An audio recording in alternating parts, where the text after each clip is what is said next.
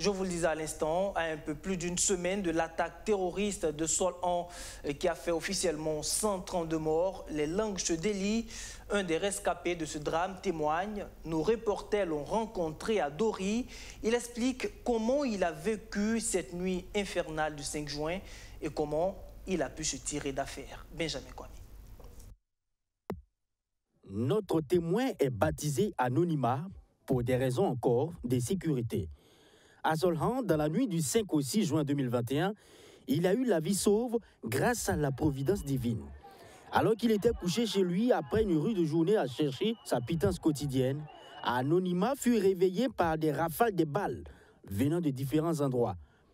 Apeuré, paniqué, désorienté, l'homme, ne sachant quoi faire, cherchait un moyen de quitter son domicile. Mais alors, où aller à 7 heures de la nuit, entre 1h et 2h du matin?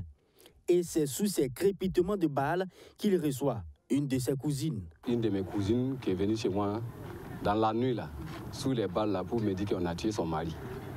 Il y a ma femme qui me disait, il faut fuir, il faut fuir. Tu as vu, on, est en train de tuer tous les hommes. Il faut fuir, il faut fuir. Donc moi aussi, j'ai pris la débandade. Dans, la nuit, là, quand on a tué mon cousin, là, mon père s'est levé dans la même nuit pour aller voir ce qui se passe. Lui, il est allé, il a trouvé qu'on a tué cinq au même lieu. Cinq personnes au même lieu. Maintenant, en cours de route, quand il voulait revenir à la maison, dans la même, vers 5 heures là, il a compté en cours de route au moins 30 personnes qui sont mortes aussi. Il est revenu, moi je suis revenu, mais j'ai dit, papa, toi, tu n'as pas peur avec les coups de feu. Il dit que, si on a tué mon cousin, ses frères il n'a pas peur. Lui-même, si c'est ça, il n'a qu'à mourir dedans. Oui, plutôt mourir. Mais la mort n'emportera pas Anonymat et son père.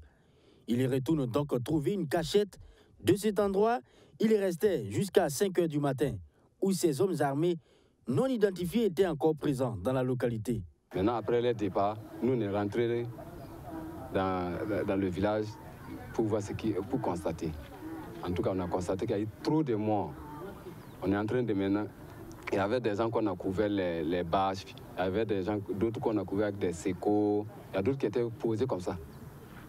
On, est on a regardé, on, a, on, est rentré dans le marché, constaté. En tout cas, il n'y a rien qui est resté dans le marché, donc tout mis le fait. Si ces terroristes ont mis le feu au marché, notre témoin relate ici leur action, qui explique clairement pourquoi sont-ils qualifiés de 100 fois ni loi. Ils prennent, quand ils viennent comme ça, ils, remplissent, ils ouvrent un magasin, ils remplissent les tricycles. Au moins, c'est plus de 50 tricycles. Il y a d'autres tricycles qui étaient sur le, sur le lieu. Il y a d'autres qu'ils ont amenés. Ils remplissent et ils brûlent le reste et ils partent. Le, moyen de transport qui, qui amenait les gens de Sebas à Dori, ils ont tout brûlé. Près de 8, 4 véhicules. Ça aussi, ils ont brûlé. Anonymat confesse que ces hommes sont revenus sur leur pas pour terminer ce qu'ils avaient commencé en détruisant ce qui était resté. Cela confesse-t-il cette information du confrère Omega? Reste à la tester.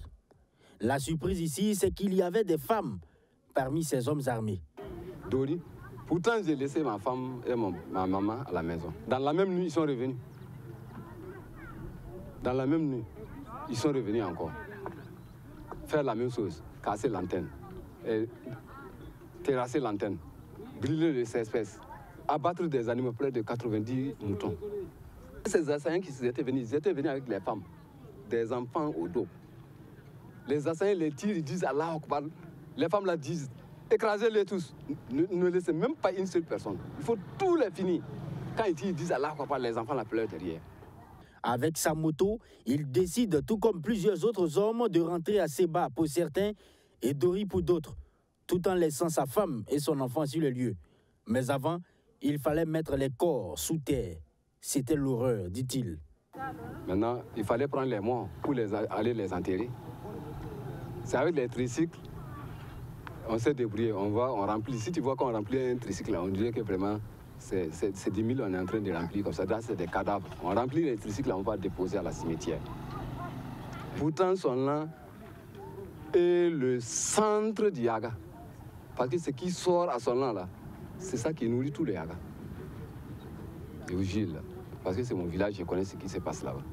Ce désolant, ce rescapé de Solhan ne cache pas son mécontentement sur ce drame, mais encore sur les mesures du gouverneur de la région du Sahel interdisant la circulation des engins à deux roues et des tricycles, ajoutant au couvre-feu. Couvre-feu là, c'est quoi?